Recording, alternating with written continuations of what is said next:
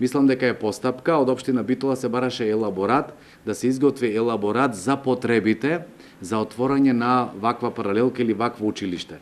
Апсолутно дека тоа е потребно затоа што а, ваквите деца имаат редовно школување до осмоделение, меѓутоа ние сме во корелација во соработка со Министерството за образование, нашиот елаборат е изработен и го доставивме. Јас сум убеден дека идниот период тоа трајно ќе го решиме, значи не времено, затоа што имаше една опција за времено решавање, тоа беше а, опција оваа година да излеземе во пресред, меѓутоа вие се сеќавате, бевме на една јавна трибина каде што ова прашање беше јавно поставено и се зедовме за обврска ние како локална самоуправа, заедно со министерот за образование и владата се разбира, да најдеме начин како тоа да го изрегулираме. Затоа знаете што е проблемот.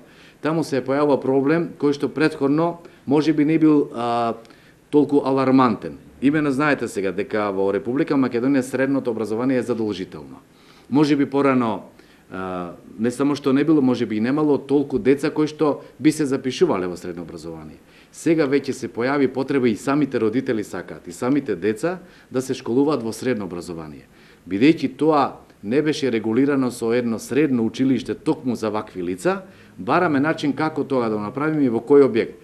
Обштина Битола се става на располагање да помогне во делот на простор, капацитети, наставен кадар, во директна соработка со образованието, јас сум убеден дека идниот период ќе добиеме таква одлука или слична одлука со која што овие деца во континуитет ќе можат да продолжат и во средно образование, затоа што сега тие можат, меѓутоа ми се чини дека на две или три години има таква можност, значи нема секоја година таква можност.